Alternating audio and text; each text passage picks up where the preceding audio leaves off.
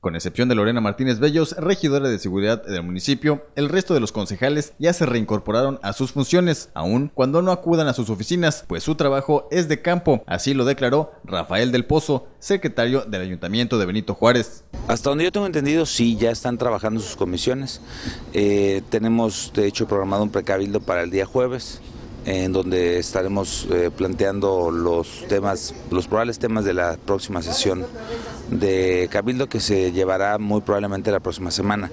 Eh, evidentemente el tipo de trabajo que de los regidores no todo se desempeña dentro de las oficinas del Palacio Municipal.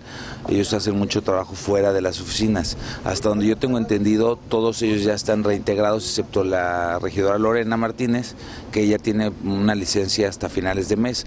El funcionario señaló que ya ha tenido pláticas con algunos regidores, como Julián Aguilar, retomando asuntos de la Comisión de Turismo, por citar un ejemplo. Con imágenes de Javier Valladares, informó para Notivisión Alejandro García. Garcia.